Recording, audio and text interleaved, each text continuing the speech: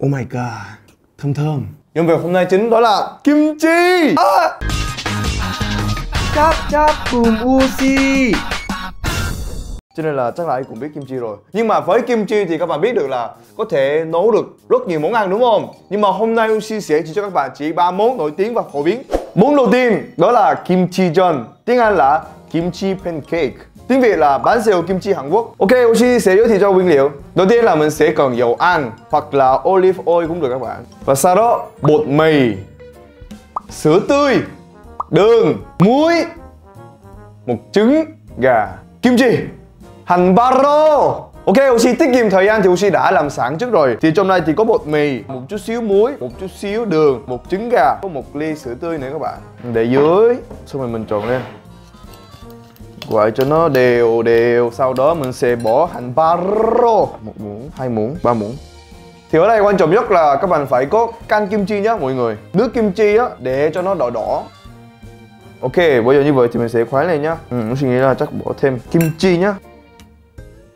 Ok, bắt đầu bây giờ thì mình bắt đầu mình bật bếp. Lý do vì sao lại Uchi xài olive oil mà là không xài dầu ăn? Bởi vì Uchi mới đang tham gia chương trình Vì yêu mà đến Nhưng mà trên màn hình nhìn Uchi rất là mập. Trời ơi, nhìn kỳ quá Cho nên là uh, hôm nay Uchi chọn cái olive oil này để mà không có tăng cân giữa sức khỏe nữa. Cái này là mình làm bỏ cùng một lúc luôn, bỏ hết luôn nhé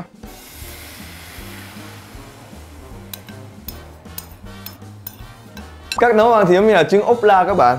Các bạn thấy rất là đơn giản đúng không? Ừ, mình chỉ cần trộn xong rồi mình chỉ còn đổ vô thôi là xong. Nhưng mà ở đây quan trọng nhất là các bạn đừng có bật uh, lửa cao quá. Ừ. Nhiệt độ cao quá thì sẽ cháy ở dưới Còn ở trên thì không có chín được. Cho nên là các bạn nhớ bật lửa vừa vừa thôi nhé Wow, cái mùi nó thơm thiệt. Thật sự là Oshi, đây là lần đầu tiên Oshi làm.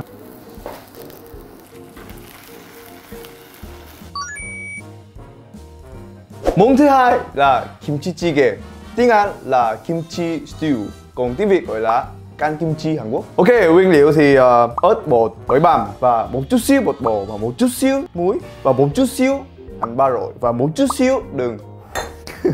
Còn thịt heo ba rọi này.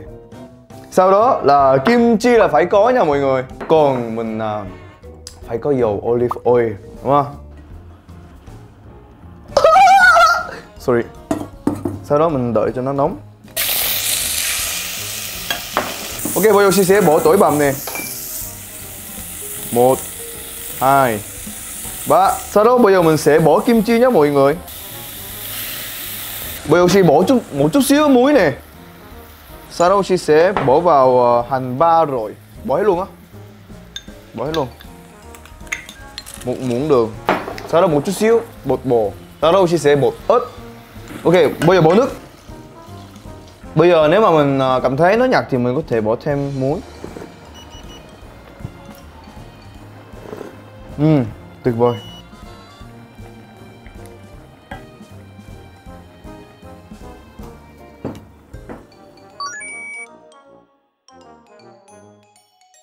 Ok, món thứ ba đó là kim chi bibimbap Tiếng Việt gọi là mì trộn kim chi Còn tiếng Anh là kim chi noodle mixed. Ok, Thiều Chi giới thiệu cho nguyên liệu nha. Đây là mì và nhiều kim chi và dưa leo. Cho nó mát mẻ. Còn đây là một chút xíu tỏi vàng và một chút xíu đường và dầu mè hoặc là một chút xíu tương cà và một muỗng tương Hàn Quốc. Tương ớt Hàn Quốc nha, tương ớt Hàn Quốc. Tôi sẽ lấy một muỗng cho mọi người. Wow, một muỗng. Sau đó một muỗng dầu mè. Một chút xíu tương cà nha mọi người. Tương cà là như thế nào? Check it out! Ok, sau đó mình sẽ bỏ vào 0,5 đường. Sau đó 0,2 tỏi bằm Bây giờ mình sẽ trộn trước. Sau đó mình sẽ bỏ kim chi và dưa leo sau nhé.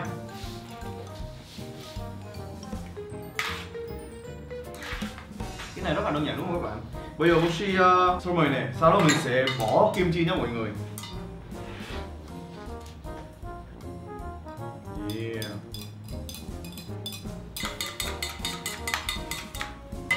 Cuối cùng là chị chỉ cần bỏ dưa leo thôi các bạn.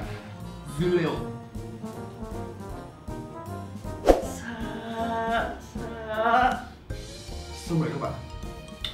Wow thì rất wow nhìn thì rất là đẹp và thơm rất là thơm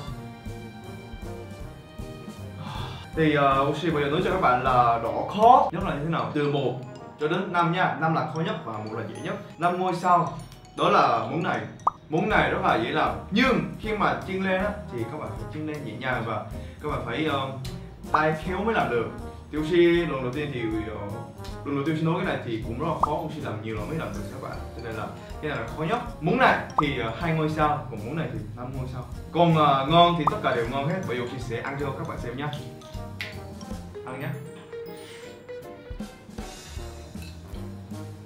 wow wow wow chết điểm bây giờ là canh kim chi Hàn Quốc nha.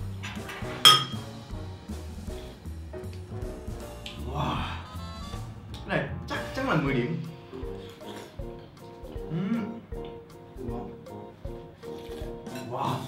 Món thứ ba là mì trộn kim chi.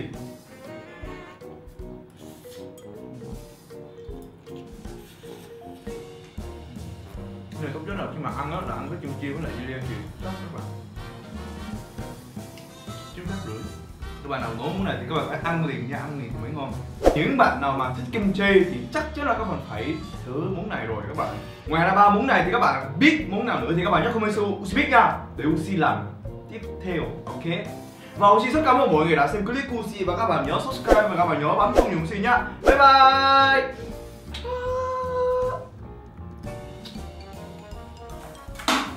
Để rồi. Để rồi. Thất bại rồi. Ăn được. Ok mấy anh chị ăn đi